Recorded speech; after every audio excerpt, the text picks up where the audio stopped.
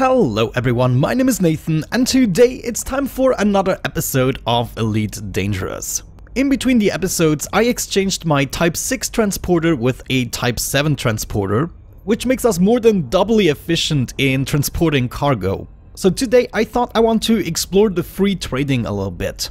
We're going to use several tools in order to accomplish that, starting with the Elite TradeNet or ETN.io.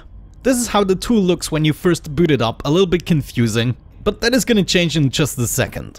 First things first, we need a reference system. So this is the system where we're currently in. So I got that pasted up here. Next up, let's do something with the route. We want to include planetary because we have the Horizons expansion.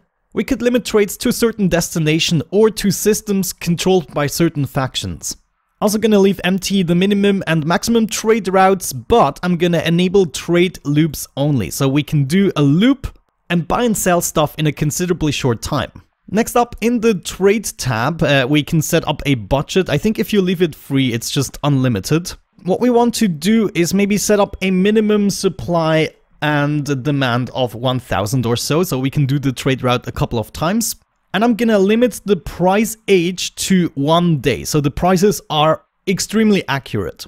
As for my ship, you could set up your ship right here, or what you could also do is rebuild your ship in Coriolis.io. So this is the current setup of my Type 7 transporter. I made sure to give it a name, then I saved it, and then I used this export button in order to copy this text. Back in the Elite Trade Network, what we want to do is import from Coriolis. You could also do that from ED Shipyard, but we want to do it from here. I already uh, pasted it in, I think, or maybe that is just an example. Let's redo it, submit. And it's going to recalculate the routes using your ship cargo as well as your jump range. Great, now we have all the suggested trade routes on the top and depending on which one we choose, we can see the individual destinations at the bottom. The first route has three destinations and a loop of two destinations at the end that you can do over and over again and apparently earn around 8 million credits per hour if you do that. We could also choose a different trade route if something seems more reasonable to us, but uh, for the time being I think I'm just gonna go with this one and then I'm gonna click the minus button here in order to hide all of the other routes and just get my information. The first step is just to go to our target system right here. At this point, we're gonna purchase 288 polymers for around 130 credits a piece, but we're gonna sell them at 4,600 credits a piece. So that is a pretty good profit margin, I would say. Now, I believe we can just control C that and then paste it in here. Let me actually try that. Yeah, that actually worked. Beautiful. So this is our first system we have to go to to get things rolling. Looks like our trade route is going to go to a planet. I'm gonna favorite this so that I can plot this much easier in the future. Of course, planetary landings are gonna take a bit longer, but that's actually something that comes calculated with the tool. You can actually see going between these two stations here should only take me a little more than 10 minutes. On this ship I also installed Super Cruise Assist and a advanced docking computer. I only use it to actually dock, I don't use it to launch. The launch is always done a little bit stupid by the AI. But I do appreciate the docking that allows me to do a little bit more multitasking, especially in times when I'm just going back and forth between stations. It's not a shame to not dock yourself every time. Right, we're currently in Klepsch Survey. We want to buy reactive armor and then go ahead and sell them at Freedman Works. I can buy them for around 2000 credits. Let's actually check the website.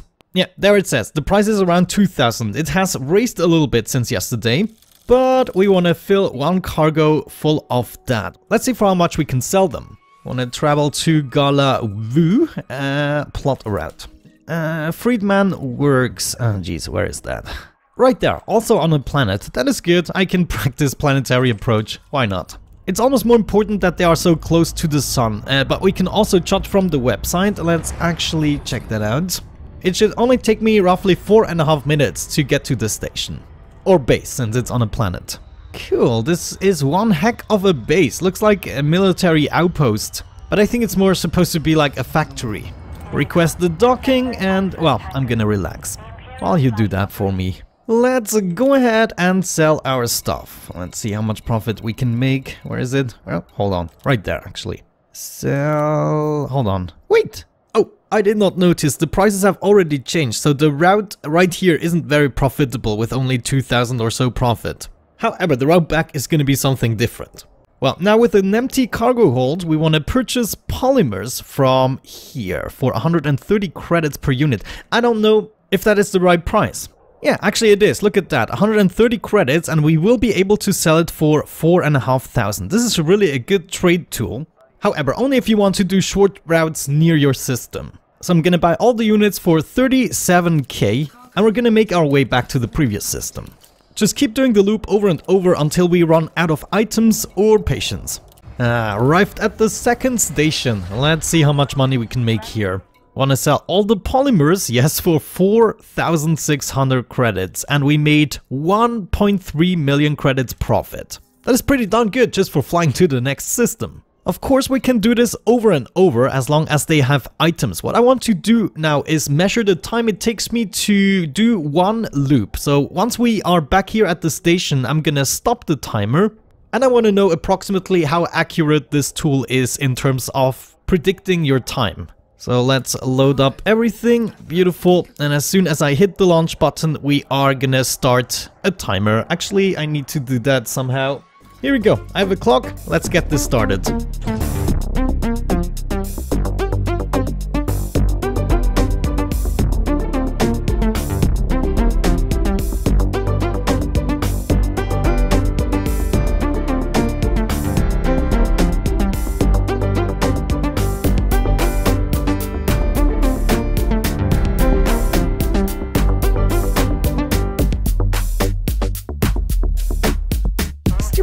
Docking.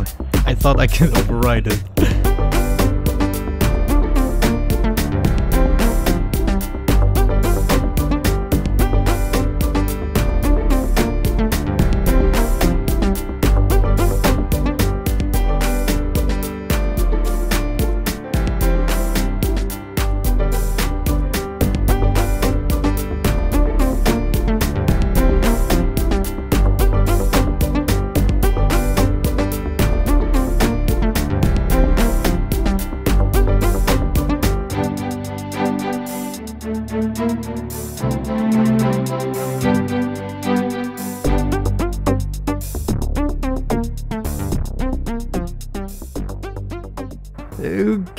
It is going to be time soon.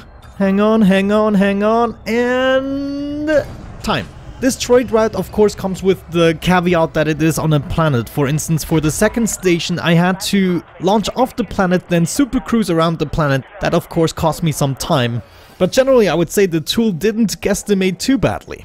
We have 6 minutes plus 4 minutes 30, so 10 minutes 34 or so, and it took me uh, surely a minute longer to launch off the first planet. And then I guess if you did the docking yourself, you would also save on at least 30 seconds or so. So this time is more or less accurate, you know how much money you essentially earn per 10 minutes. But to celebrate that, of course, we want to sell all of our polymers for another 1.3 million profit. And of course, if we did that, on average per hour, we would make approximately 8 million credits. If we had a bigger ship, of course, we could do this quicker. One thing I'm not sure about is if that actually increases your trader rank as well, or if you have to do missions for that. Alrighty, I wanted to show you another tool, the Elite Dangerous Database or EDDB.io website. This website comes with a variety of tools as you can see, but for today's video I just want to show you the single hop route. Now let's imagine we want to go home with our cargo ship. However, we would just fly home with an empty cargo, not making any profits whatsoever. And that is something I want to change. Let's set up a couple of things here. For instance, we want to set a minimum supply. Let's do uh, around 300 of course also demand, then the price age should be uh, very recent. My cargo is 288 tons. I have many available credits. We want to include planetary and then we want to set the system we're currently in, which is called um, Bico, and we are at Klepsch Survey. So let's see in general what routes we can find here.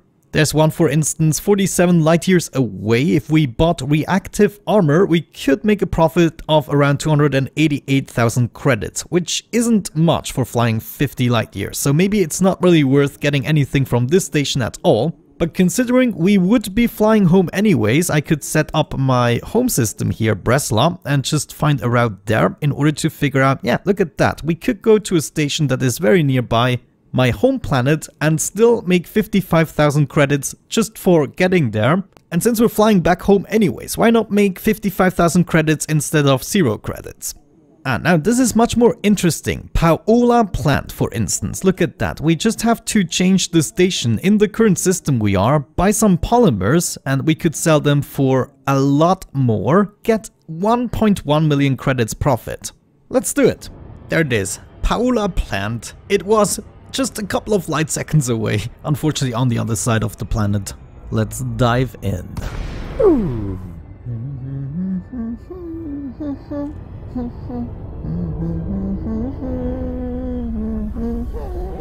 we are, arrived at the station commodities market. We want to get uh, polymers, right? Yeah, for approximately 1000. Now, looking on the right side here for polymers, we can actually see this is the trade route that has been suggested by the first tool here. Getting the polymers in Friedman Works for only 130 credits then selling them in Umbico for 4,500 credits. However, the second tool I'm using in order to figure out what I could purchase in the system I'm already at. And then when I arrive in the next system, I calculate a new and potentially better route from there. So right now we're gonna do what the tool told us to do. We're gonna get those polymers. And then we want to plot a route to Calhuacan. Right there, copied.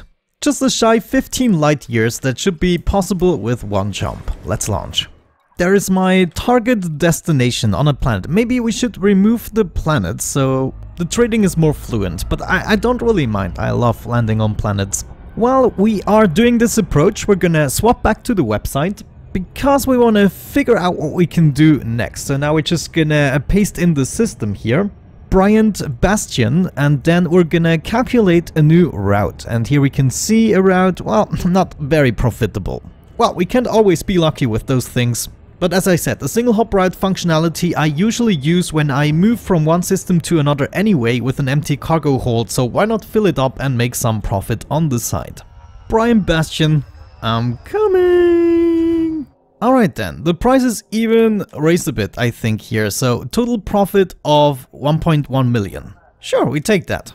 You know, the third option is of course to just browse the sell page. Uh, here we can also see that polymers are well above the galactic average. And on the right, of course, we can then also see who is producing it very cheaply. So in Gaula Vu, just 26 light years away, we can get them cheaply, or in Paola plant as we just saw.